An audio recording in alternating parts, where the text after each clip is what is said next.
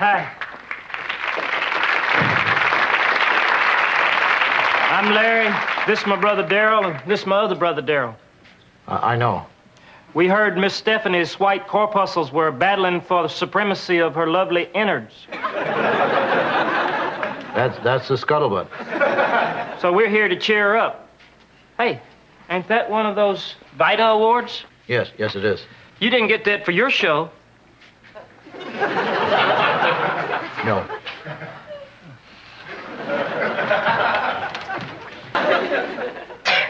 Bless you, Miss Stephanie. Darryl, the lady just sneezed. That's okay. Miss Stephanie, we'd rather slow dance with a cranky grizzly than see you laid up like this. That's why we're going to do for you what our daddy done for us when we was feeling poorly. A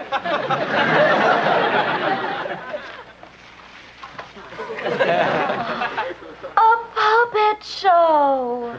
Is there any other way to cheer up a sick room? Hi. I thought I'd uh, stop in to see if you needed anything brought to you or taken away. Not now, Dick. They're about to do a puppet show. Ah, Once upon a time in the kingdom of ants, there was a beautiful princess who had a cold.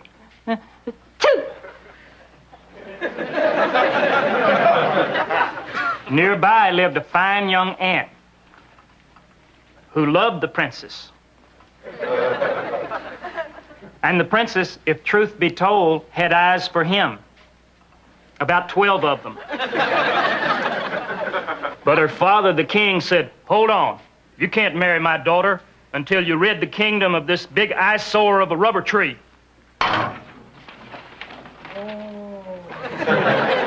At first, the ant was afraid to even try, for he knew he did not have a spine like the higher vertebrates.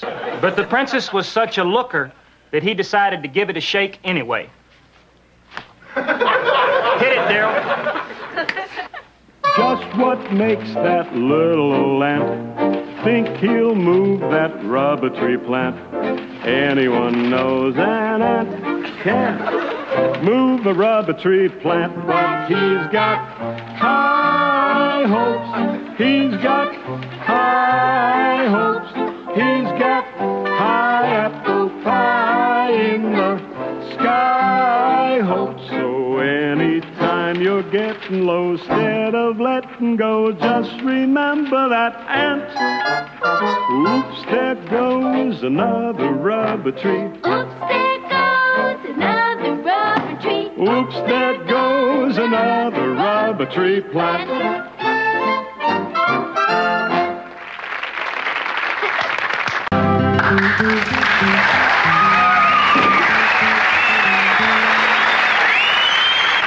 Hi, I'm Larry, and this is my brother Darryl. What about your other brother, Darryl? I'm sorry, he's too upset to participate in this conversation. We'd like to take this up with the spouse of the house. Uh, Dick? Right away? oh. Hi, guys. Easy, Darryl.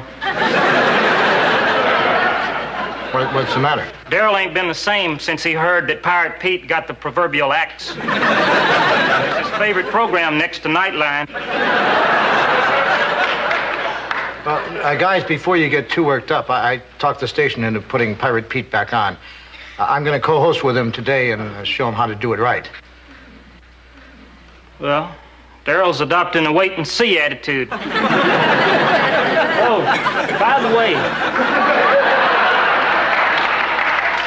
if you don't mind some constructive criticism, we could tell it was you talking for Perch.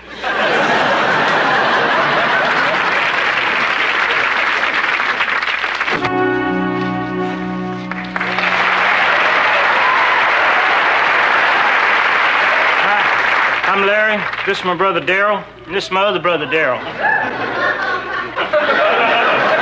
Hi, hi guys. What's uh, what's up? We're returning your chainsaw. Oh, thanks. where where is it? Oh dear, we must have left it at the cafe. Darryl? And don't be playing, let's see if it'll cut this on the way back.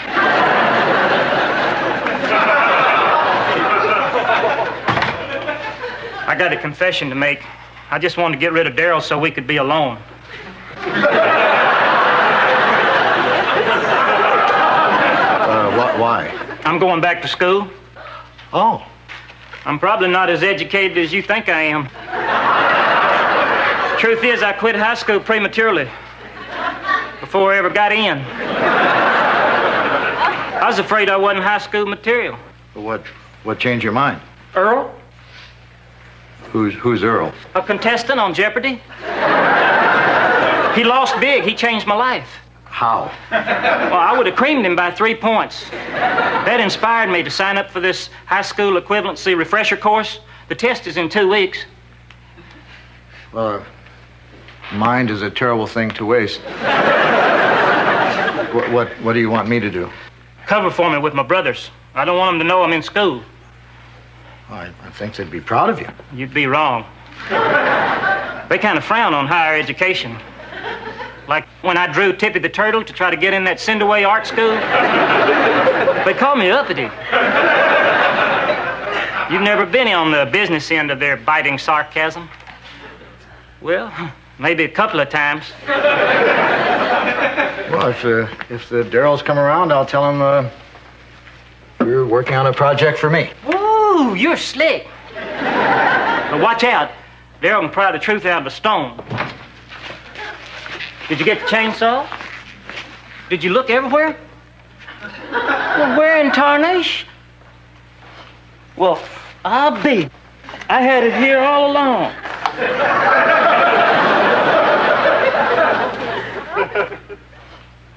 What'd I tell you? Already the zingers are flying.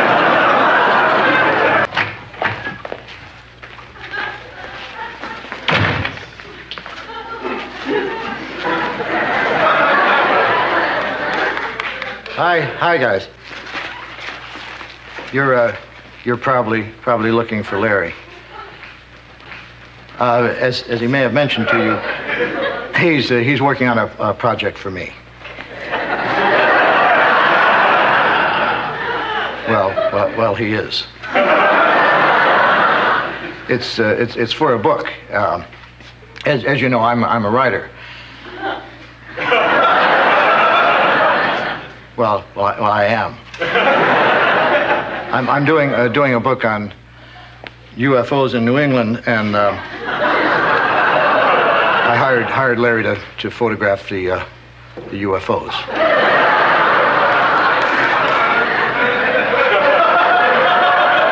They uh, they come out at night. Mondays, Wednesdays, and Fridays. Be- between 8 and 10. You're, you're probably probably uh, wondering why I, didn't didn't ask you two to to help out. Um, that's that's because you uh, you Uf, UFOs are um, are terrified of trios.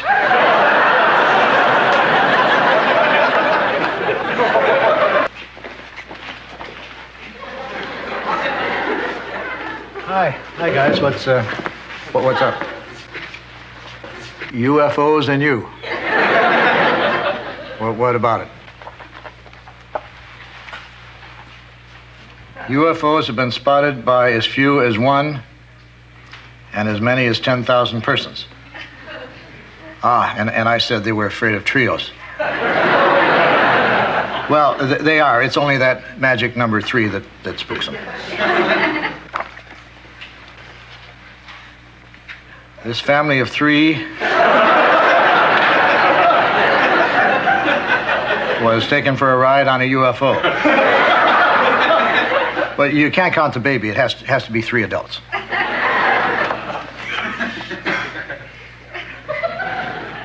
Three angry steelworkers. Well, now, steelworkers. Oh, okay, he's going to night school, okay?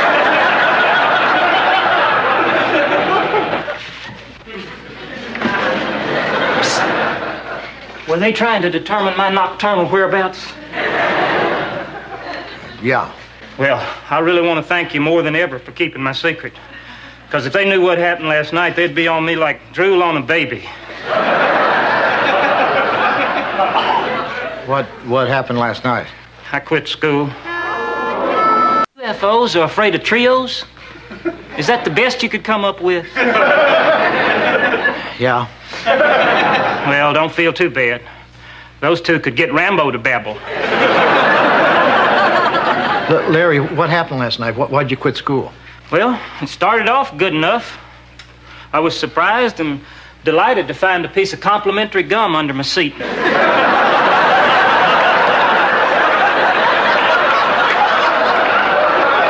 Next thing I know, everybody's laughing at me. So I hightailed it. I can get that kind of treatment from Darryl. But that, that's no reason to quit. On top of that, I didn't understand the lesson.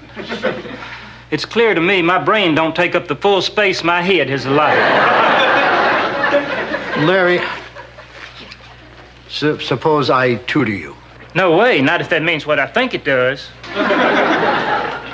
It, it means I'll help you study and, and get that high school diploma. Oh, okay. The Earth is made up of seven continents Europe, Antarctica, Asia, Africa, Australia, North America, and South America. How am I going to cram all this into one temporal lobe? That's why you're lucky I'm here. When, when I was a kid, I came up with a little trick. Eat an aspirin after a nighttime snack. I, I, I can explain. Dick, is this a good time to sand, stain, varnish, and wax the floor? No, George. Well, I guess I'll go wallpaper the bathroom then. Stupid, stupid maple leaf. Larry, it's, it's the initials. Each letter stands for a continent Europe, Antarctica, Asia, Africa, Australia, North America, South America. Do you suppose Miss Joanna would be free to tutor me? La- Larry, give it a chance. Darryl, what are you doing here? My lunch. Thanks. Mmm, smell. All right, get out. You had your fun. What, what is it? Turtle soup. An obvious reference to the Tippy incident.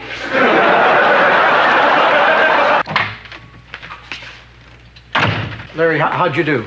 Well, the teacher did say he's grading on the curve, but since I answered zero out of a hundred, I expect to wind up close to the bottom. Dang. At least on Jeopardy, I would have come home with some lovely parting gifts. You, you failed, but, but you knew the material when we talked it through. Yeah, doing it that way seemed to come as natural as stuff between your toes. but when I tried to write, none of that knowledge made it to my pencil. Come on, I want to talk to your teacher. All right. Larry, you, you wait, wait here.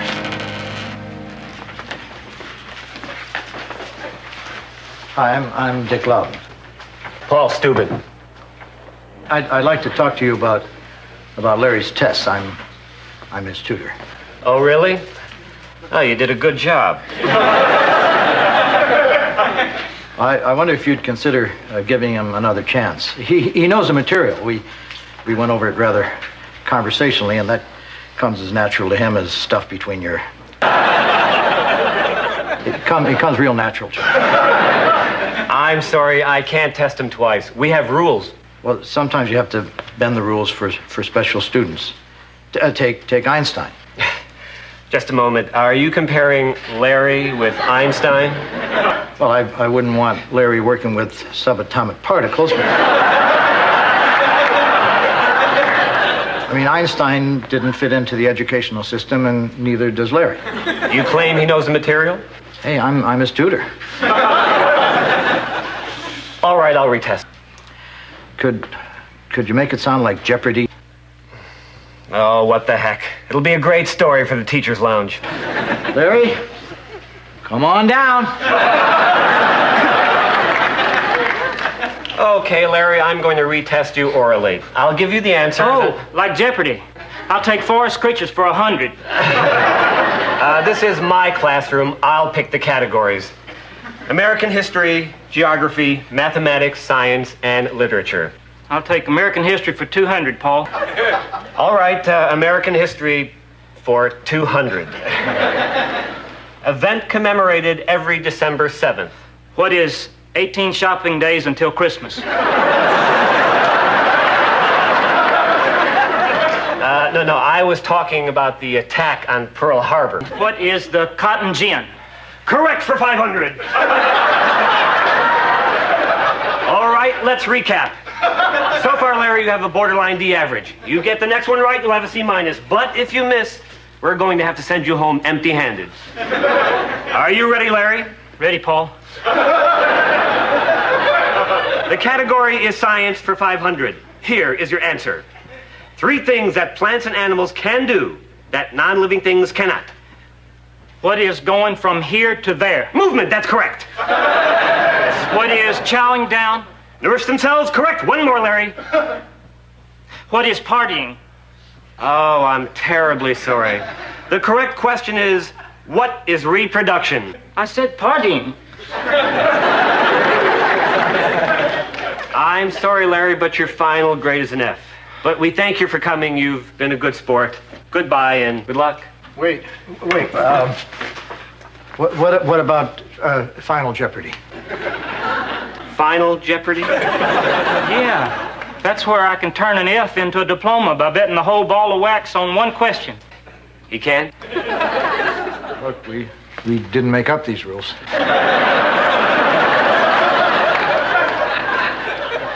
Okay.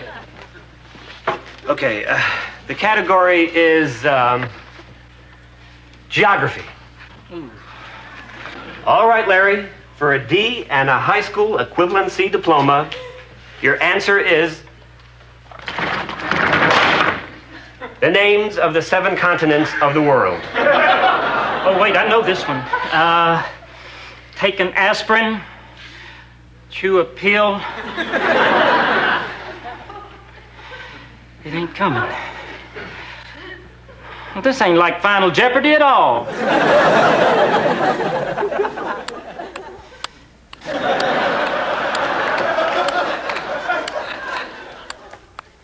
All right. Eat a pill, starve a fever. Hi, honey. Dick, Larry, how'd you go? Hi, I'm Larry, high school graduate. Congratulations. Thanks. Sorry I couldn't remember them seven continents your way. I can only seem to learn them in descending order of gross national product. Darryl, I won't keep you two hanging on meat hooks. I passed.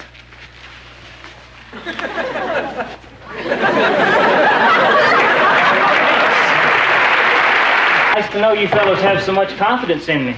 But what if I'd have failed?